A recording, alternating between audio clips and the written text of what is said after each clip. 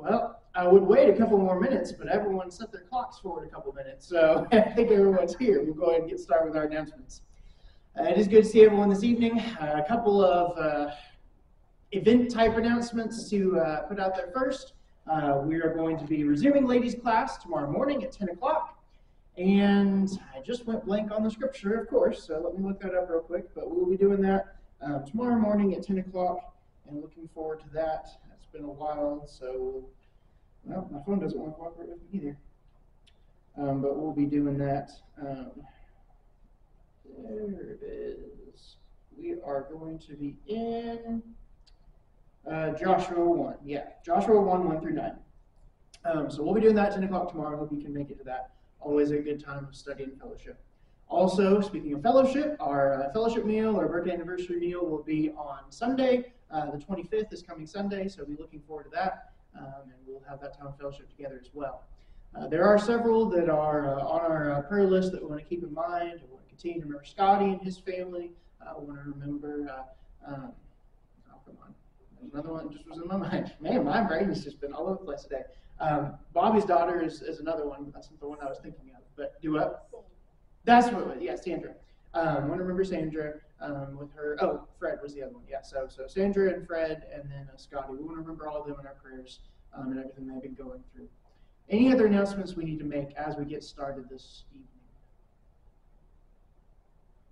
All right. Well, let's go ahead and have a prayer, and then, as you're probably aware, we are getting into something completely different. But let's pray first. Our Father, God in heaven, Lord, we approach your throne with such gratitude for everything that you have done for us. Lord, you have blessed us in so many ways. You have uh, just helped us to uh, see the truth of why we are here on this earth and why you put us here, what you have for us to do. And Father, we ask that as we live our lives, we may uh, live with this uh, picture in mind that you've given us and, and see the role that you have for us to uh, further your kingdom in this world.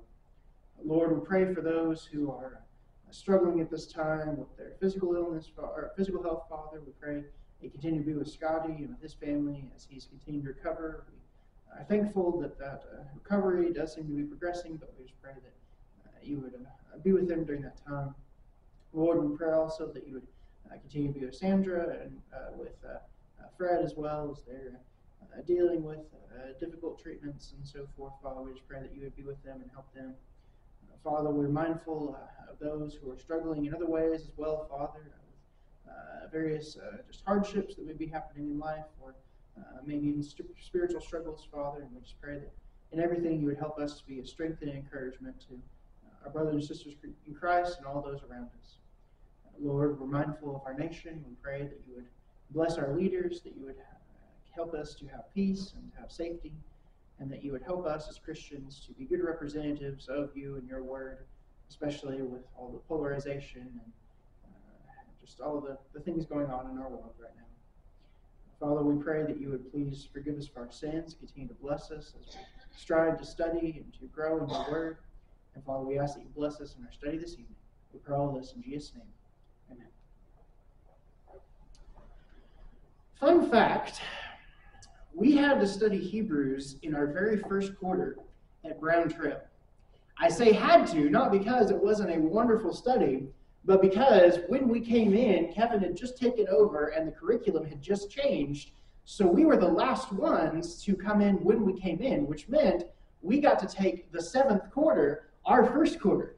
So you're not actually supposed to take a class on Hebrews according to his curriculum until you are, you know, a year and a half into the program, but we got it right away. That being said, that was one of the first classes where, number one, I just absolutely fell in love with the approach that Brown Trail takes. And this isn't a Brown Trail spiel, don't worry. But uh, I also fell in love with the book of Hebrews itself. And I've been wanting to teach this for a while. And for various reasons, I put it off either because I wanted to do some more study or something else I wanted to study, you know, or something like that. But we are going to begin tonight with our study of the book of Hebrews. I'm really excited about this study, uh, and we are going to gain a lot from it, I hope. We're going to begin with some introductory material. We're going to look at some introduction uh, material tonight and also next Wednesday. And that's not because we're trying to beat a dead horse or overdo it. There is a lot that will help us to see the big picture if we kind of have some things out of the way before we start digging into the text itself. So we're going to start this evening, and as always, of course, it's a class. So please, questions and comments. I'll be asking questions if you have questions, uh, and we'll move through that. But uh, we're going to start with talking about the audience, meaning who the book is written to, as well as the author who wrote the book. And as many of us, if not all of us, are probably aware, that is an interesting discussion in of itself. And so we'll get there in just a moment uh, this evening. But let's start off by asking this question Who was Hebrews written to? Now, if we look in the New Testament, usually what do we see at the very beginning of the book for, I would say, the majority of the books that are in the New Testament? What do we have right there at the beginning?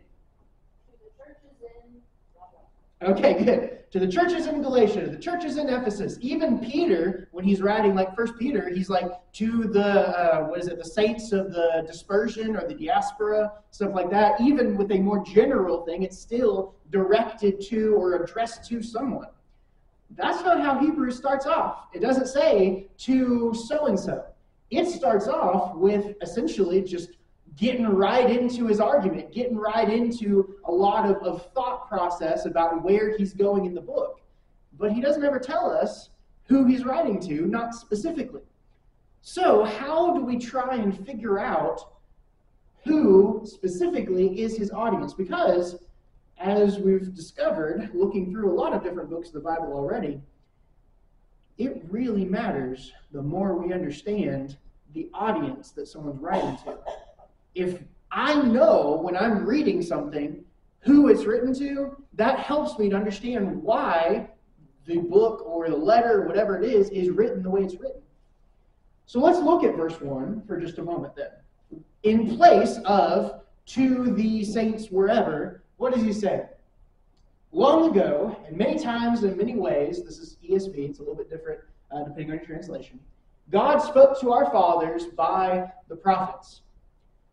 Okay, automatically we're told two things. What are we told in this verse that helps us see who this is written to? Okay, good. Prophets, well, prophets, who are they speaking to? In the context of Christianity, the only people we could be talking about are Old Testament prophets. Very good. Ray, what'd you say? Okay, it, it, again, if it's the prophets, it seems like a reference to the Jews. Certainly, other cultures and religions have prophets, but from a Christian, that's not going to make much sense, right? What else? What else stands out that we can kind of see here? Okay, good. Our fathers, and combining our fathers with many times in many ways, as we talk about the author, and this is part of it, but even leaving the author aside for a second, our fathers, well, yeah, that could be anyone's ancestors, right? But our fathers combined with prophets, and then you put it long ago, again, this is very clearly in the context a reference to the Old Testament. He's basically saying, a long time ago, the Old Testament happened, right? Very, very much a general summary, but that's essentially what he's saying is like, that was what God did way back when that we're all familiar with. He's starting off on common ground, right? We're all on the same page about this. Basically, as the book begins, he's saying, here's where we are. Now I'm going to take us to where we need to be, which, as we've talked about before, that's how you teach anyone, right? You start with something that you have common ground on, and then you get them from there to where they need to be. But let's also look in chapter 2 at something else that he says. Therefore, we must pay closer attention. Now, We'll talk later about what the therefore is referring to, but therefore we must play, pay closer attention to what we have heard, lest we drift away from it. Well, what have we heard? Well, do what? Okay, good. He says, long ago, God spoke to the prophets, but if we go back to verse 2 of chapter 1, but has in these last days spoken to us by his Son. Which means not only are we talking to Jews, because the prophets and our fathers, but now these are Jews who have heard the gospel of Christ, and therefore he's saying we must pay closer attention to what we have heard, not what we heard from the prophets, although he's not discounting that. We'll get there again uh, as we go through the flow of the book as well. But we must pay closer attention to what we've heard that is the gospel, what has been spoken to us by his son, lest we drift away from it. So, just putting those little pieces together, we can basically already surmise that Hebrews is written to Jewish Christians. So, verses 1 and 2 of chapter 1, they're Jewish, but they also have heard the gospel and they're Christians. So, Jewish Christians who are thinking about, notice again, chapter 2 and verse 1, lest we drift away, they're thinking about going back to where they once were, going back to Judaism. So far, I don't imagine we've said anything that all of us aren't already familiar with with the book of Hebrews. But I want us, before we move on to some other aspects of audience and author, I want us to think about why. Pretty much everyone who approaches the book of Hebrews gets here, right? Everyone's on the same page. You're going to be really hard pressed to find anyone who disagrees about this basic statement about what Hebrews is about. But I don't want us to stop there because if we just stop there and just, okay, that's it, move on, we're going to miss some crucial things that are going to help us understand this book. So here's the question we need to ask Why on earth would Christians want to go back into Judaism? And why would the Jews take them back? Now, I'm going to throw a couple things out there, but let's just ask this question first. Why would Christians want to go back into Judaism? Okay, good. What else? Somebody else has something? Tradition. Tradition, okay. Persecution in the sense that the Jews were persecuting the Christians. Tradition in the sense that this is how these Jews were raised before they became Christians, and that's familiar, so they kind of want to go back to that. Okay, good. What else? Any other reasons why these Christians might be wanting to go back to Judaism? Okay, good. Persecution, and you said everywhere they went, not even just from the Jews, maybe from the Gentiles too. And I say maybe. We see that, right, in Paul's journeys especially. So perhaps they say, well, if we get back in with the Jews, we'll at least have a buffer against some of this persecution. You, okay, that's that's possible. Any other reasons why they might want to go back. They kind of have a tendency to use their own uh, laws, traditions, like Hmm. the, the Passover. Okay, okay, good. A lot of things they're familiar with, like the Passover, their traditions, they're, they're used to that kind of thing. That's all accurate, very, very good. But I want us to think about where we are at this point. To become a Christian after being a Jew, they have already moved past some of their traditions. They've already moved past a lot of the things that they've been doing. We're talking, and we'll get to some of why in a second, but pretty much, again, you're going to find a consensus on this. This is at least 20, 25 years after the church has been established. So we're not talking about people who just became Christians last year and are thinking about, ah, maybe this isn't all it's cut out to be. They've been Christians for a while. In fact, we're going to see in that one verse that we often quote in, uh, in Hebrews chapter 4 by this time, the author says, you ought to be teachers, but you need someone to teach you again, meaning these aren't new converts. He's talking to people who are, if you will, seasoned Christians in that sense, at least in terms of the time they have been in the church. So they've already made that commitment and already faced persecution. And in fact, if you look at the book of Acts, a lot of the persecution that happens happens pretty early on. Think about, for example, when most of the Jews have to flee Jerusalem because the persecution gets so bad, almost without any question from anyone, even people who would date this earlier than I would, this that still happens significantly before this book is written. So we say all that to say, if they've already faced what we might rightly suppose would be the worst of the persecution, why would they be wanting to go back now because of persecution? But even more than that, you have the traditions, right? But if tradition was going to be that much of a pull, then why have they stayed Christians for this long? But then let's ask the other part of this question. Why would the Jews take them back? I want us to think, of course, artist renditions is the best I could come up with, right? Especially with free images, copyright free, and all that. But think about the stoning of Stephen. We talked back when we were studying through the book of Acts on Sunday mornings. We talked about how the stoning of Stephen represents a shift in policy, if you will, from the Jews. Gamaliel, for a while, is one of the voices of, hey, let's let this, you know, this movement die out. If it's not from God, it'll die out. If it is from God, you know, this problem, and, and we won't be able to fight against it, all that. And for a while, he's able to kind of calm the tensions. But the stoning of Stephen essentially unleashes a huge amount of persecution from the Jews onto the Christians. Remember how we talked about on Sunday night about how Jews viewed Samaritans and tax collectors to be irredeemable, to be beyond saving? I'm not saying that we can know for sure that's the mindset that a Jew would have towards a Christian. But what I am saying is the lines have been drawn pretty severely by this point. That not only does there not seem to be a very good reason just overall for Christians to want to go back to Judaism, but it doesn't seem super likely that the Jews would just be welcoming them back with open arms. At the very least, they would be welcomed back as tainted goods, as second class citizens who were weak enough to go along with that Christ cult. And yeah, I guess they're back now, we'll let them in, but they stay at the bottom of the totem pole for the rest of the time.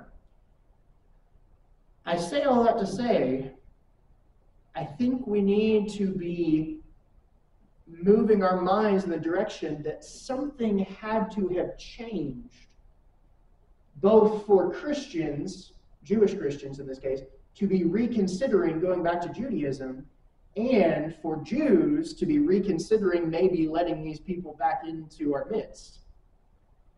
Something has to shift in the overall situation of life for both of these groups, Jewish Christians and Jews who are not Christians when we look at all the evidence for book of Hebrews and so forth, I would argue, and part of this is based on what we're going to talk about, but also part of this is just based on overall the the, uh, the situation that's given to us. We're looking at about the early to mid, and I would say closer to mid 60s. So around maybe 64, 65, 66 AD. Is there anything that comes to mind that is changing for people of Jewish ethnicity around that time? What's happening in the mid 60s for people of Jewish descent? Do what? Okay, good. 70 is a year we're very familiar with, right? Because 70 is the year the temple is destroyed, as we have predicted for us by Christ in places like Matthew 24. But it isn't destroyed just on a whim, it's destroyed because the Jews revolted. Guess when that revolt really begins in earnest? Around 66 AD. Now let's think for just a moment. If you are a Jewish Christian, you believe that all that was said in you know the, the, the, Pentateuch and the writings and all that, you know, the Old Testament, what we call the Old Testament now, you believe that all that was from God, and you believe that Christ is now the fulfillment of all those things. You know, we would agree, right? That that's what we believe as well.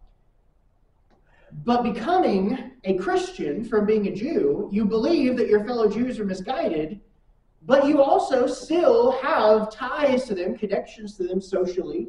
For the people who are uh, receiving this, this book, this letter, uh, they are getting this most likely as Jews who are in the general area of Judea, Galilee, that area. So there's a lot of ties there that you don't have to give up to be a Christian and still be a Jew. Meaning, you don't have to necessarily leave your homeland entirely. As we said, they had to leave like Jerusalem in that area at one point because the persecution got so bad. But still, from a cultural and a, in a sense, national uh, identity, they still consider themselves Jews. They still consider themselves Israelites, right? That hasn't had to be given up yet. But what happens when a revolution starts brewing? All of a sudden, now there's an extra piece of the puzzle, right? Now let's think about it from the Jews' perspective, meaning the Jews who did not convert to Christianity. If you're going to start a revolution, what do you need? Lots of people. Almost always, a revolution is not starting off with the best funding, not starting off with the best equipment, the best weapons, the best political connections. What's the advantage a revolution has? Home turf and the people who live on that home turf. So, what do you think that Jews would begin to think about their Christian brethren? Brethren meaning in an ethnic sense.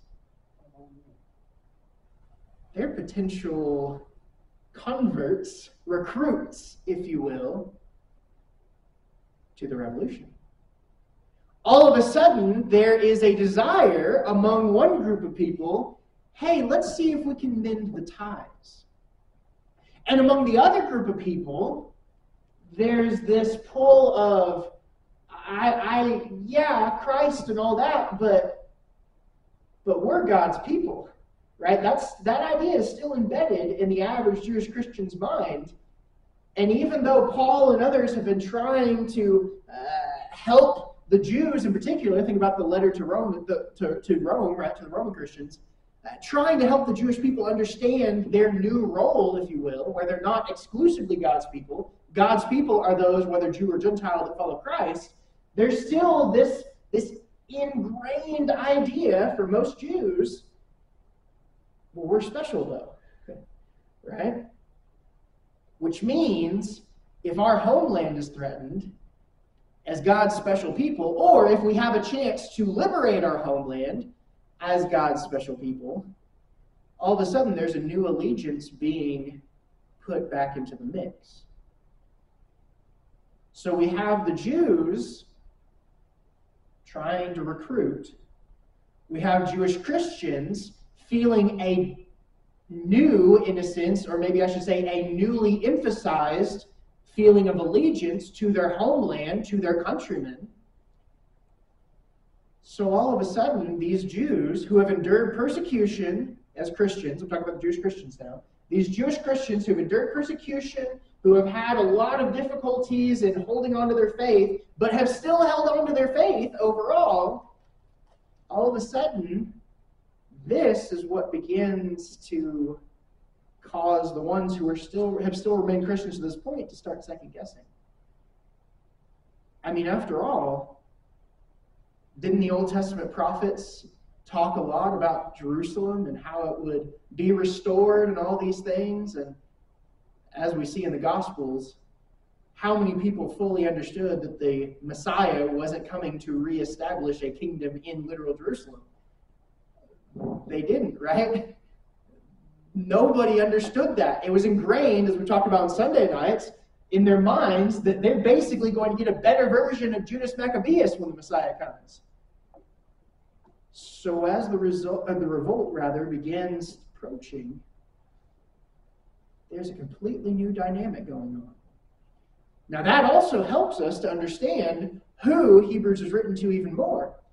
Because historically, as far as we can tell, Jews who were spread throughout the Roman Empire, they weren't really involved in this revolt.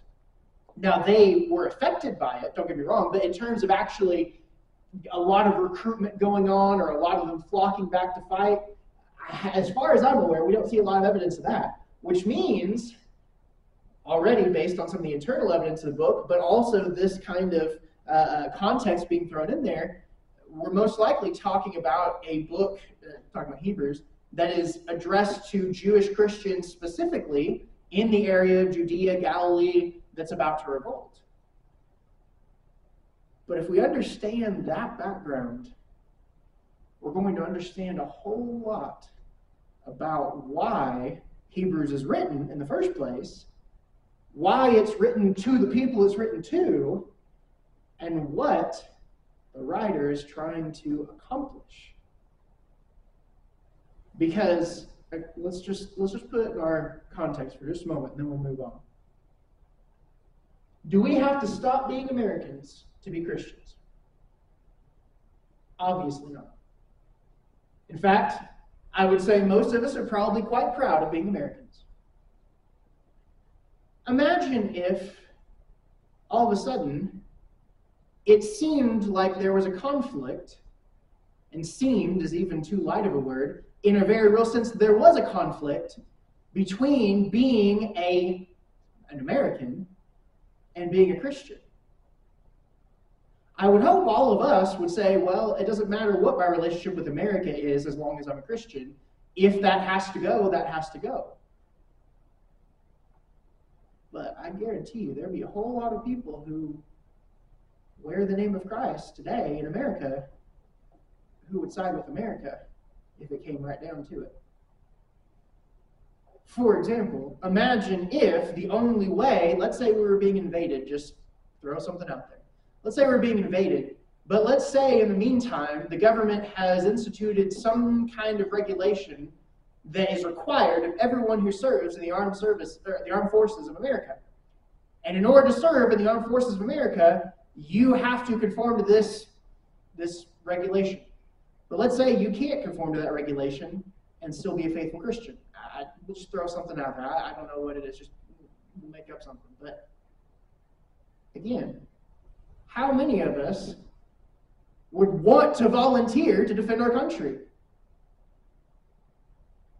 How many of us would give up or compromise our faith to sign up to defend our country? That's kind of a foreign concept for us because it's never happened to us. But that's the kind of choice that's coming to the forefront in the minds of these Jewish Christians. All right, so overall, we're talking about who this is written to. We're talking about Jewish Christians who have to choose between their national heritage and their faith. That's what we're talking about.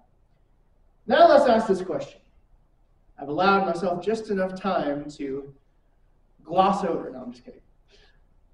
Who wrote Hebrews? Byron stole my answer. Great question. One of the most annoying questions, and I mean that with no disrespect, but one of the most annoying questions about the New Testament. Annoying in the sense that I want to know and we don't know, right? It's annoying because we're just not told. However, there are some things I think we can know about the author. And some of these things I think might help us in understanding the book as well. But let's ask the question first Who do most people assume wrote Hebrews? Paul. Okay, good. Why do you think most people assume it was Paul. Do what? Okay, good. Most of the books of the Bible, including most of the ones that are kind of letter style, which I've been calling Hebrews kind of a book and a letter. In a sense, it's kind of both, although it's not as much like a letter as the other ones. But still, there's similarities there. Makes sense that this is yet another one by Paul. Why else would we assume that Paul wrote it? Sometime back, I tried to look into that some, it seems that the, all the first century, second century fathers seem to think he wrote it. Okay, good. Whenever people were beginning to discuss, okay, which book is, you know, inspired and which book is not, and we'll get into all that. We're not saying that the books that we have in our Bibles were decided by men. We're saying that we're trying to discover which ones were inspired and which ones weren't. Not that they were trying to decide which ones would be considered inspired, which ones weren't. But whenever they were trying to figure that out, one of the things that became very popular was to say that Hebrews was written by Paul to encourage people to think that it was inspired. Now, it's inspired whether Paul wrote it or not, and we can go into a lot of detail about that. That's really beyond the scope of what we're doing here, and I think we're all on the same page on that anyway, okay? But uh, the point is, that was one of the arguments. Very good. But let's begin to try and, and piece together some of the reasons why people said, or really people still say, that it's Paul. Number one, as we already said, multiple people said this, Paul wrote most of the New Testament, including a lot of letters that are similar to some extent in their organization uh, of uh, as Hebrews. So that's one thing. Uh, I get that, right? Another reason people make the argument for Paul. Paul was an educated and very logical Jew. And when I say very logical, I mean in the way he often wrote. Think about Romans as kind of the stellar example, right? If you read through Romans, I mean, man, it's just point after point after point, organized, and just you can follow it. It's logical. It, it, it makes sense, right? Well, Hebrews is also very logical. Hebrews clearly is written by someone who is very well educated. If you read through the uh, the type of grammar and, and, and all those kind of things that are used, the vocabulary that's used, uh, it's not, and I'm not putting John's writings down, but it's not like John in the sense that John writes on a very simple level but he's getting to a lot of deep stuff. Whereas Hebrews or Romans or things like that are written at a very high level in terms of the vocabulary grammar and so forth. So that's another reason why a lot of people argue that it was Paul. Paul also wrote a lot about the relationship between Christianity and the old law. Again, think about Romans, think about Galatians, think about all those kind of things. So this is very familiar territory for Paul, right? He's familiar with all of these kinds of topics, so it would make sense that he wrote this one as well, since it's kind of along the same lines of other things he's written. It's another good argument. And then, of course, we have just the fact that Paul often has to engage with Judaizing teachers, Jewish opponents. He's very familiar with and very comfortable with those kind of interactions, right? All those, I think, are good arguments so far as they go, meaning uh, I can understand why that would make sense to people. Here's where we have to start pulling some things out of Paul's actual letters and see if it actually matches up though. Second Thessalonians, toward the end of the letter, Paul says, I, Paul, write this greeting with my own hand. This is the sign of genuineness in every letter of mine it is the way I write. Now, not going to go too deeply into this, but if Hebrews was written by Paul, what would we expect based on this statement? Okay. One of two things. Either it's in there, right? Paul puts his name somewhere in there. If for some reason Paul's name isn't in there, what might we expect instead? Remember, whenever we're putting together ancient manuscripts, a lot of times we have pieces that we have to piece together. Sometimes we're missing fragments and things like that, right? So, what might we expect if we don't have any manuscripts that have Paul's name on it? Do what? A, a space, right? Where there's a missing page or a missing paragraph or a missing section. Obviously, we all know that Paul's name isn't in any of the manuscripts. But the interesting thing is, there aren't any missing sections either. For example, I don't know if y'all are familiar with this again, I'm not trying to go down rabbit holes here, but there's debate among some over whether or not the very last few verses of the Gospel of Mark was added later or was actually in there. I tend to think it's actually in there, and that's a discussion for another time, but either way, that's a debate that people have, right? But those last few verses, there are several manuscripts that don't have those last few verses. But guess what? They have an empty space there that would fit those last few verses, right? So that's a good argument to say, well, even though they're not there, it was still understood that something else goes there or something like that. You know, we don't have anything like that in Hebrews. that makes it kind of suspicious on the outset that this would be Paul. But let's keep on going. Notice in verse 3 of Hebrews chapter 2 How shall we escape if we neglect such a great salvation? It was declared at first by the Lord, he's talking about Jesus, right? It was declared at first by the Lord, and it was attested to us by those who heard. What does this tell us about the author of Hebrews?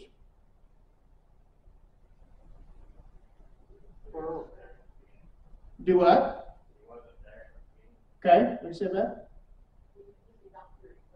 Okay, good. Ralph, you say something? Plural. Okay, good, good.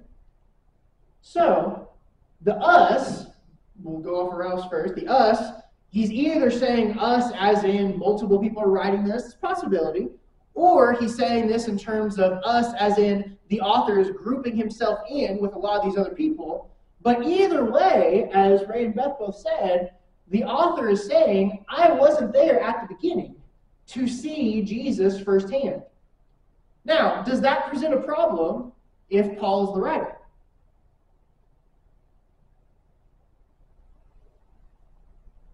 Maybe not, one might argue, because Paul wasn't one of the original 12 or one of the original followers, right?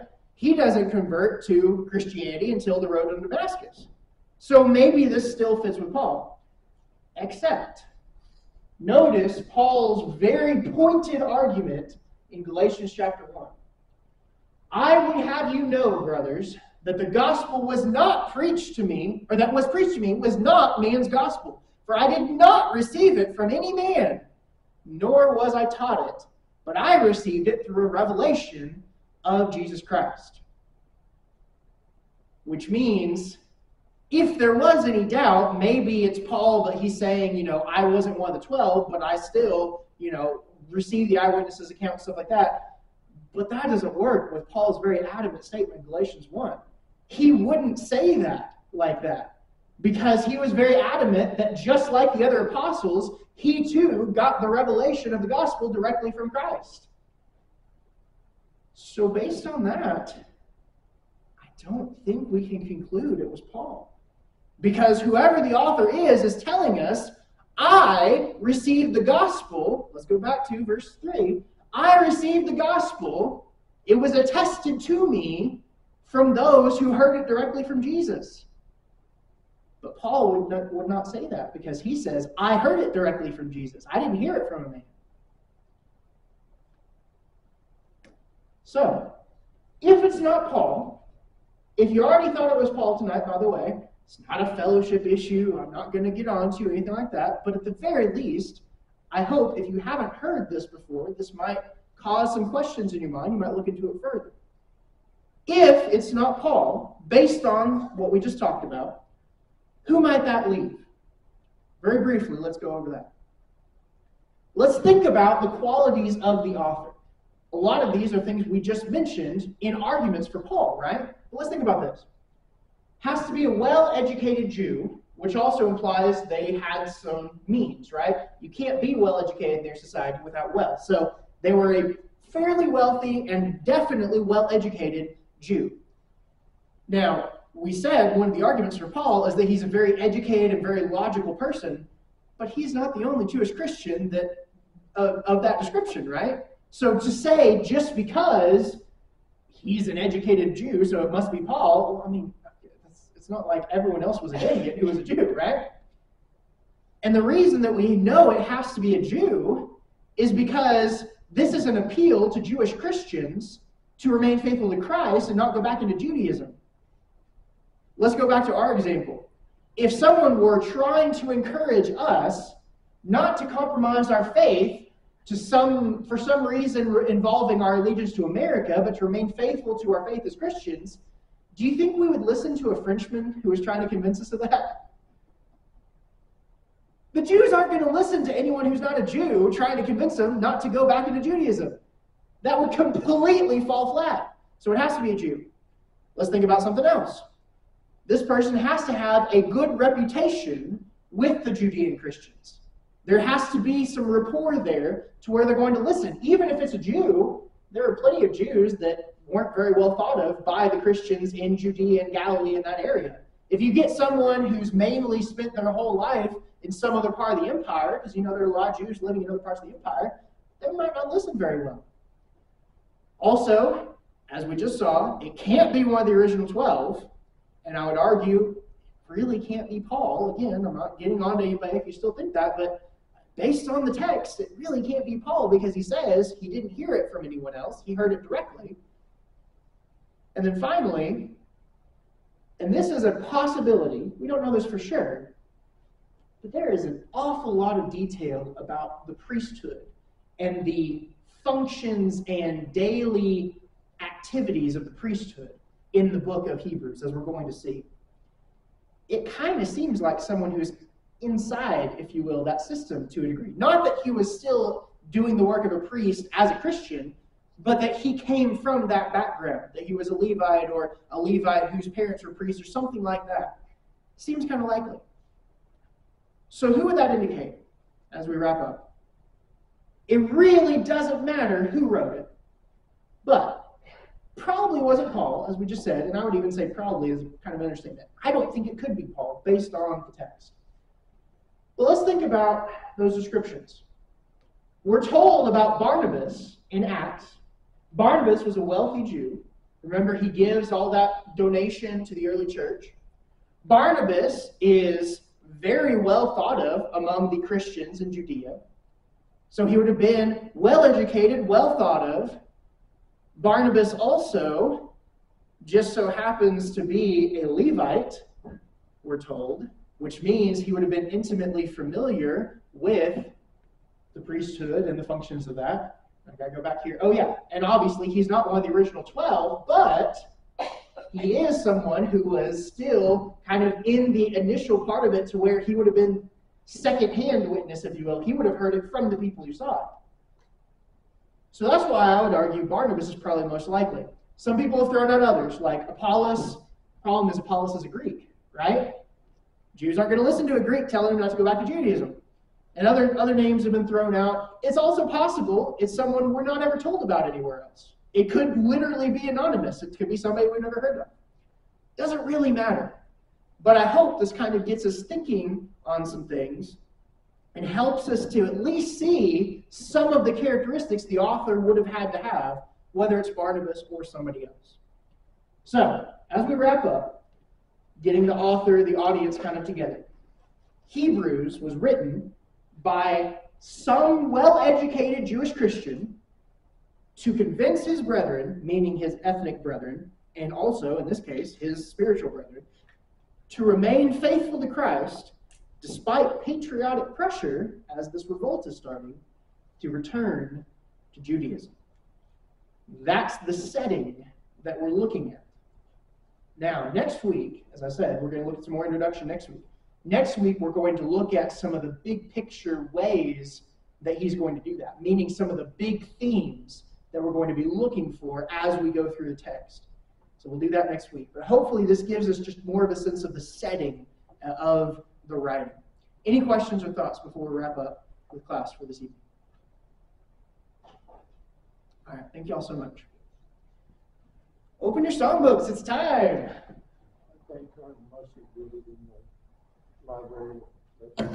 That's good. Byron said Colonel Mustard in the library with the what the pipe he said. I like it. Oh, that's funny.